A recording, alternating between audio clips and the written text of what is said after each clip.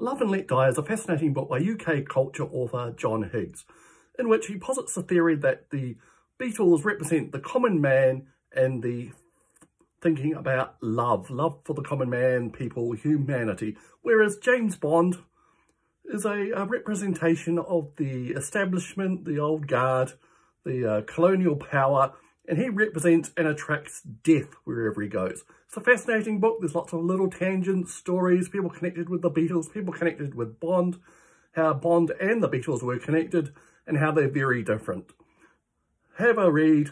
It's more interesting than you may think.